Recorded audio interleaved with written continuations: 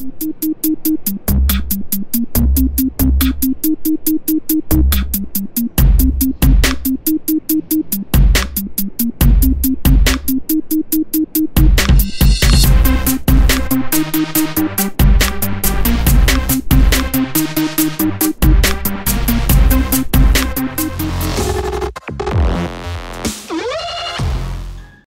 So guys, nandito na ako sa loob ng Under Armour para check natin na yun ang mga sneakers nila. Ano ba yung mga bagong sneakers nila or kung mayroon ba silang mga deals kasi nakita ko sa labas mayroong sale. Tignan na natin kung anong meron sila.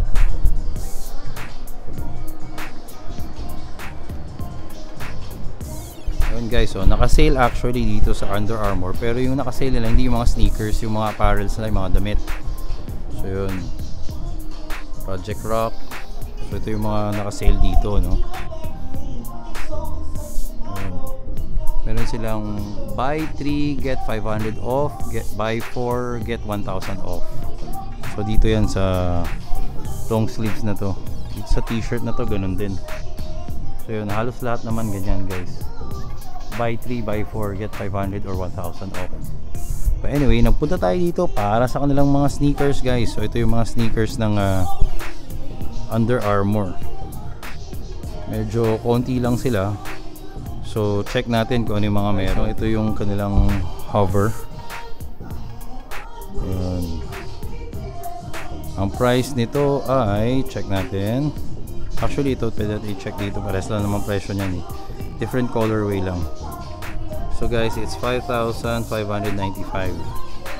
So yun, pang gym to, pang gym. So guys, ito naman yung tinatawag nilang Hover Infinite. So medyo mas makapal yata yung hover niya compared dito. So yun, ito 7,995. Actually guys, wala pa akong nagiging Under Armour na sapatos. No? I'm wondering how comfortable talaga to.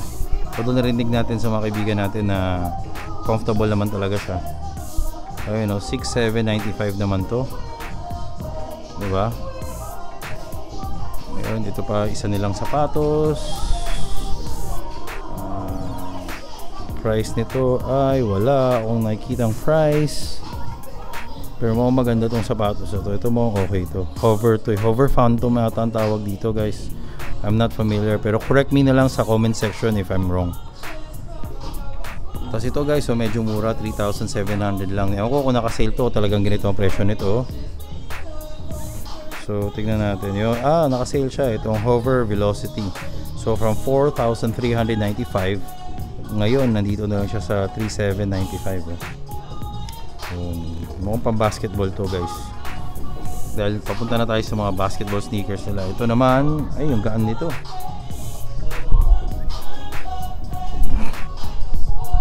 Ito guys di ko rin alam tawag dito. Under Armour siya pero ang gaan niya walang nakalagay na tag walang nakalagay na price so yun lang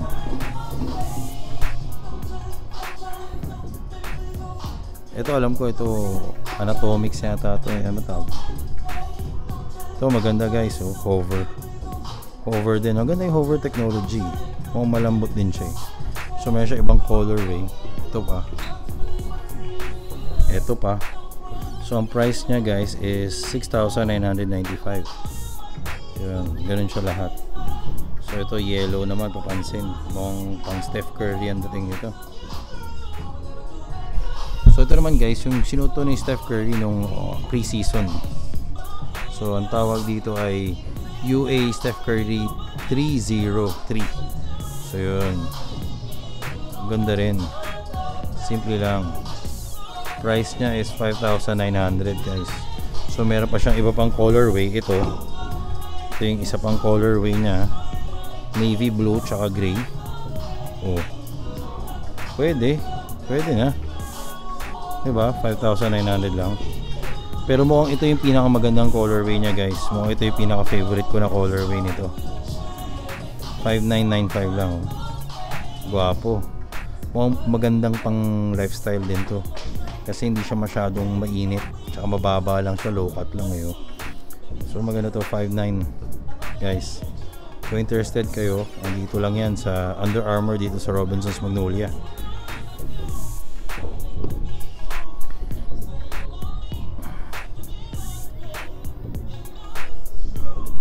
Ano? May isa na tawag dito. Hindi mo na alam.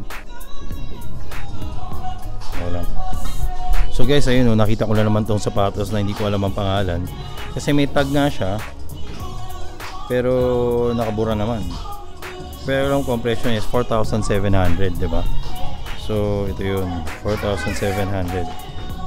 So meron pa siyang black naman, all black na colorway over here. Ayan, mukha lang siyang gray ah. ilaw lang yan guys pero ang uh, color niyan is triple black. So ito 'yun, isa pa. Yan. Ito guys, medyo maganda tong sapatos na to, Anatomics. Ito yung high cut.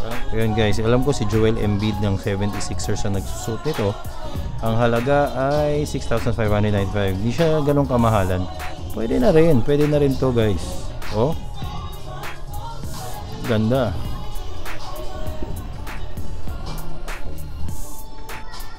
Ito yung isa pa niyang colorway, white naman, maganda. White and gray clean. Pero mga madumihin to. Kung dapat tabla lang talaga to sinusuot guys. Ayun. 6,500 ito naman yung kanyang all black colorway. Oh. pwede rin. Pero para sa akin sa tatlong to ito yung pinaka gusto ko. Yun kung naghahanap naman tayo ng mga budget no guys ito 3,795 lang hindi ko alam kung naka-sale siya o talagang ganyan ang presyo niya. But anyway, maganda rin naman. Pwede rin ito pang basketball, oh guys. Copings din naman siya eh. Meron siya nitong black, gray, and uh, white. Tapos meron din siya nitong colorway na to. So meron siya actually iba-ibang colorway. 3,700. Ito may navy blue na kahalo. Tapos may pagka-teal na color. Yan oh. Pwede na. Ito magandang leather din. Actually synthetic leather lang to. Pero pwede na. Pwede na pang basketball to pang laspag diba? Pang weekly na laro pang araw-araw na pang basketball. Oh ito pa isa pang colorway guys. Color blue naman. So ganun. Again 30,795 pesos lang. Pwede na kung pang lalaspag lang talaga. Maganda na okay na ako dito kung maglalaro ako ng basketball kailangan kong basketball sneakers na pang araw-araw na hindi ako maghihinayang ilaspag Ito na yun, 3,700 lang oh. Saan ka makakita naman ng ganyan? Legit pa, hindi pa to fake. Diba guys? Yun. So guys, ito pa yung mga ibang hover nila oh. 6795. So actually, ito yung kanina pinakita ko sa inyo. Meron silang colorway na blue naman. Yun. Diba? Tapos ito naman, may pagka-iridescent yung color. Pero hindi ito iba to eh. Ang ang pangalan nito ay wala, wala nakalagay, nakabura. Pero 6,595 din siya. So ito pang mga gym to eh. Ang dating nito sa akin parang mga pangkalaban ng Metcon to eh. Ng Nike. So yun. Ayan. Ito rin, pang gym din to guys. Pero ito, meron siyang Micro G technology. Diba? Under Armour din siya. Ang price niya ay 6,795. Medyo kamahalan ng konti. Pero pwede na rin. Pag nag-sale naman ng Armour, Under Armour, medyo malupit din guys. Eh. So guys, ito na naman yung isang Under Armour na hover. 6,595. Ayan o. Oh. Pwede na. Diba? Ito pa yung isa pang colorway niya. Beige Diba? Ito naman, uh, ah, 5,700. Hindi siya hover. Pero magaan siya guys. Charge ang pangalan niya. Diba? 5,500. Magaan siya. Diba? Pang everyday use na sapatos. Okay to. Panalo to. G Technology na naman. Ang price na is 4,995. Ayun, mga ito yung mga sneakers ng Under Armour dito. Ito naman ay hover din uh, 5,995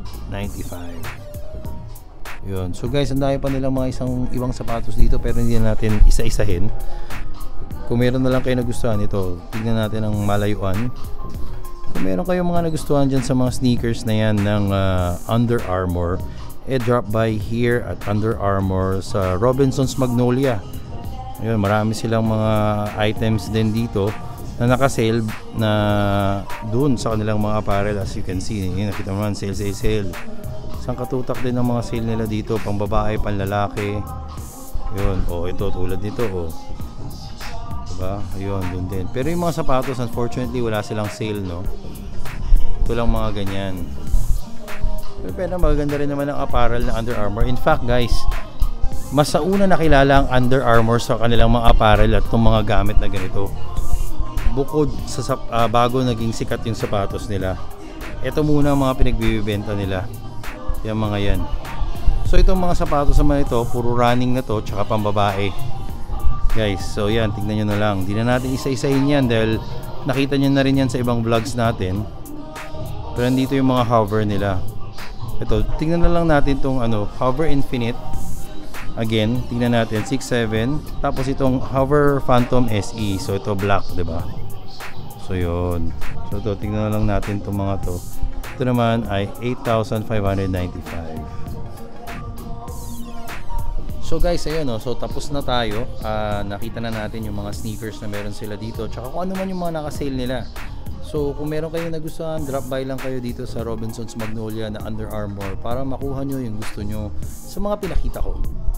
So guys, I hope you enjoyed this video and if you do, please press the thumbs up button down below and if you haven't subscribed to our channel, please press the subscribe button and click the notification bell. Follow us on all our social media accounts. Until next time.